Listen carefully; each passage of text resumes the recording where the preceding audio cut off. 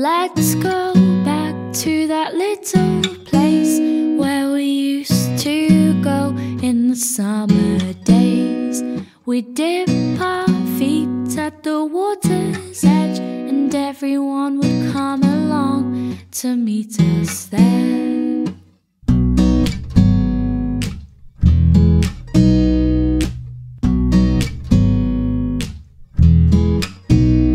Have a competition to see who can trap every